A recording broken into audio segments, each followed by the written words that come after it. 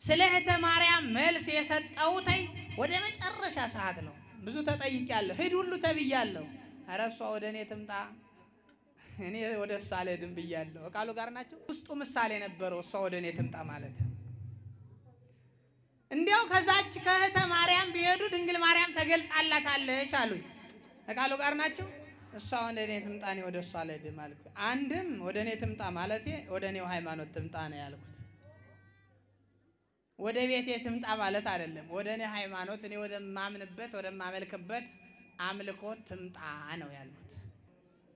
ስለዚህ እሷ ወደ እኔ ትምጣ ነው። ሰላም ውድ አገር ልጆች እንደምን ናችሁ? ሁላችሁንም በእግዚአብሔር ስም ሰላም ላለው ሰላም እግዚአብሔር ከሁላችሁ ጋር ይሁን። እንግዲህ በዛሬ ቪዲዮችን ያው እንዳሳዩችሁ እዚህ ላይ ነው ሪያክት የምናደርገው ማለት ነው። በዚህ ቪዲዮ ላይ ያው እንደ ጥያቄ ነው እኔ የማቀርብላችሁ እና ያው ይህንን ምናልባት ያላያችሁ ካላችሁ ያው በድጋሚ ተችላ ማለት ነው። እና ያው ብዙ አባቶችም የሚነግሩ ነገር ነው የታወቀ ነው። ልክ አይደለችም የሚባል ይሄ በእርግጥ አዲስ አይደለም፣ ግን እንደ ጥያቄ እንዲሆን በተለይ ደግሞ ከሁሉ ከሁሉ እንደዚህ አይነት ቪዲዮዎች እንድንሰራ እኔ የሚያስገድደኝ በተለይ አንድ ነጥብ እንድትይዙልኝ የምፈልገው ነገር ቢኖር ህዝባችን ምንድን ነው የሚፈልገው የሚለው ጥያቄ ነው። እና ህዝባችን የሚፈልገው በእውነት እውነት ነው ወይስ ውሸት ወይስ የሚወደው ምንድን ነው ሀሜት አይደለም ወይ የሚለው ነገር ልትመለከቱት ይገባል እና ለዚህም ደግሞ ያው በቂ ማስረጃ አለ። እንደውም አንድ ቪዲዮ ያሳያችኋለሁ፣ እሱን ተመልከቱ። ህዝበ ክርስቲያን ሆይ ዛሬ እዚህ ጋር የቆምኩት ሳይገባኝ ነገር ግን የተወናበደ ነገር እየሰማችሁ ስለሆነ እንደው ባካችሁ እግዚአብሔር ያድናል። ፍቅርተ አይኗ ጠፍቷል ተመልሶ እየተባለ እየተወራ ነው። ለእኔ ለራሴ እኔ መሆኔን ሳያውቁ እዛ መምህር ግርማ ጋር እንደዚህ አይኗ የበራው ልጅ እኮ ተመልሶ ጠፋባት ብለዋሉኝ። ለራሴ እንደዛ ብለዋሉኝ እና እና ምናልባት ምስል ታስታውሱት ይሆናል እና ብዙ ማለት ያው ሁሉንም እያለን አይደለም፣ ግን ከሞላ ጎደል ብዙ ህዝብ ለሀሜት ቅርብ እንደሆነና አንዳንዱ ሀሜት ከመውለዱ የተነሳ ለዚች እህት አይኗ ለበራው እህት ጭራሽ ለእሷም ራሱ ለማን ራሱ እንደሚያሙ የማያውቁ ሰዎች ሁሉ እና ይህን ነገር ያው በተቻለ መጠን እኔ በራሴ በተለያዩ መረጃዎችን ሰብስብ ያለው እና ያው ልክ አይደለችም ሲባል ብዙ ጥያቄ ውስጥ የሚያስገቡ ነገሮች አሉ። ነገር ግን ምናልባት ግራ የተጋባችሁ ወይም እውነቱ ማወቅ እንፈልጋለሁ የምትሉ ሰዎች ግን ይሄኛውን አንድ ቪዲዮ መመልከት አለባቸው። ይህን ቪዲዮ ራሳችሁ አይታችሁ ራሳችሁ እንድጠይቁት ነው። ጥያቄ አያስነሳም ወይ ወይም ደግሞ ጥያቄ ሊያስነሳ አይችልም ወይ? ከዚህ በፊትም I think የዳሰስኩት ይመስለኛል። ግን ሁላችሁም እንደምታስታውሱት ባህታዊ አዳነ በጣም ትልቅ አባት ናቸው። እንደውም አሁን ከእሳቸው እንደውም በእድሜ ራሱ በጣም የሚተልቁ አባት ናቸው እና እሳቸው መጀመሪያ ልክ እንደሆነች ነው የተናገሩት። ግን ልክ እንደሆነች ብቻ ሳይሆን የተናገሩት እዛ ቦታ ላይ ዋሻ ስለመኖሩ እሷም ቀድማ ተናግራለች። እሳቸውም መስክረዋል ዋሻ ስለመኖሩ። ስለዚህ ከዛ በኋላ ግን I think ባልተሳሳትኩ ይሄ ያ ቪዲዮ ከወጣ ከአስራ አንድ ወር ምናምን በኋላ ነው ትክክል አይደለችም፣ ኢትዮጵያ ልታጠፋ ሃይማኖት ልትበርዝ ነው የሚል መልእክታቸውን አስተላልፈዋል እና ብዙ ሰው ግን ያንን ብቻ ነው የተመለከተው። ግን ይሄኛው ንግግራቸው ግን ዝም ብሎ እንደዚህ እንደ ቀልድ የሚታይ ነው ወይ ነው? እናንተስ እንዴት ታዩታላችሁ?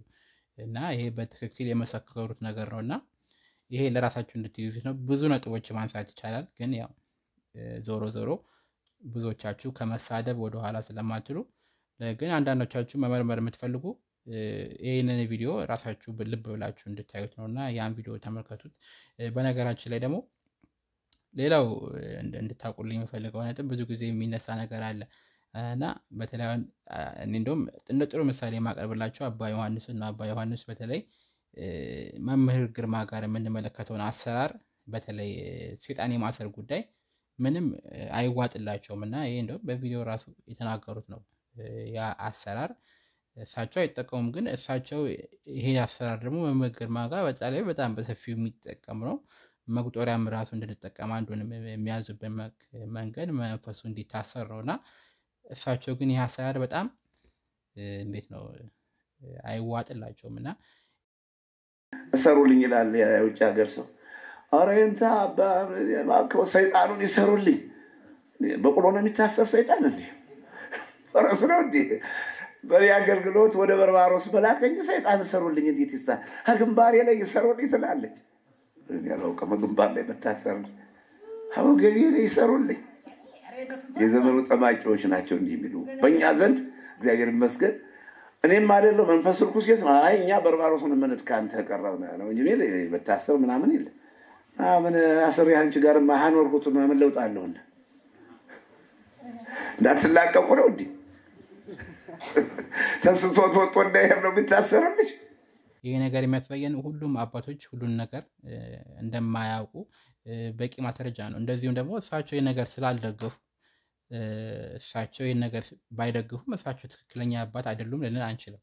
ስለዚህ ይሄ ነገር እሳቸው ስላልደገፉ አንሰማቸውም አንልም እና ሁሉም ጋር የተለያየ ነገር እንዳለ ነው። ስለዚህ ለማንኛውም ራሳችንን ግን እንዴት ነው ለራሳችን እንድናስብ ራሳችንን ቆም አድርገን እንድናስብ ያደርገናል ብዬ አስባለሁ። በተለይ ስትመለከቱ መምህር ግርማ ጋር መንፈስ ሲታሰር አሰራራቸው እንመለከታለን። አባ ዮሐንስ ጋር እንደዚህ አይነት አሰራር አይስተዋልም እና ያ የሚያሳየን እሳቸው ይህን ነገር ስላልደገፉ እሳቸውን አናወግዝም አይደለ ግርማም እንደዚህ ስላሉ በዚህኛው አሰራር ሳይሄዱ ተብሎ ሰው አያወግዝም። ስለዚህ በራሳችን ጭንቅላት መወሰን እንችላለን። ሌላውም እንኳን የቡና ጉዳይ እንኳን የምትመለከቱ መምህር ግርማና አባ ዮሐንስ ጋር የምትመለከቱት ነገር በፍጹም አጠጡ ብለው አያስተምሩም።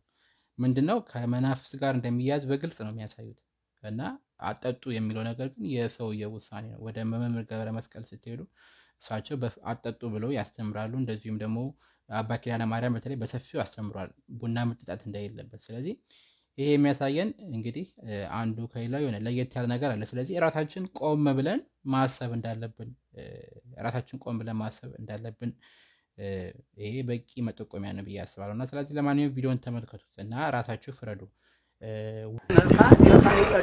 ይላል። ሰው በቦታ ይከበራል፣ ቦታ በሰው ይቀደሳል።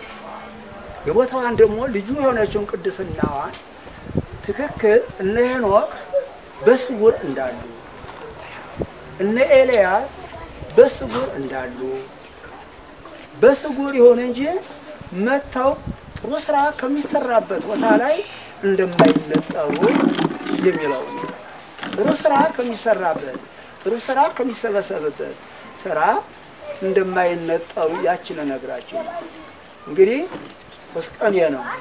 አሞኝ ነበረ። በጣም መጣው። እዚህ የጠበሉ ገባው። እንግዲህ እናንተ ሻወር ነው የምትሉ፣ አሁን እኔ ጠበል ነው የምለው። መጣው ደግሞ አለ። ትናንትና አልኩ። ጥቂት ዛሬ ደግሞ ተጠቀም ይኸው እናንተ ጋር ቆሚያለሁ። አንዱ ይሄ ነው።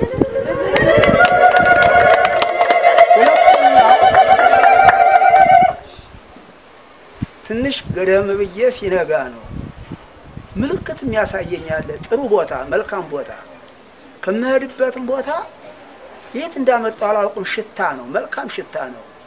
አባቶችን የሚጎበኝ የሚያቀርብ ደስ የሚያሳይ ሽታ ነው። እንግዲህ እንትን የሚለኝ አይዚህ ደግሞ መጣና ትንሽ ሙጭቅና ሽታ መጣይና መጣች ለከፍ አደረገች ስንል ደግሞ ከዚያ ላይ ጥሩ ጥሩ ሰዎች ቀያዩ ሰዎች መጥተው አብረው ተከማይተው እዚያው ውስጥ አየኋቸው።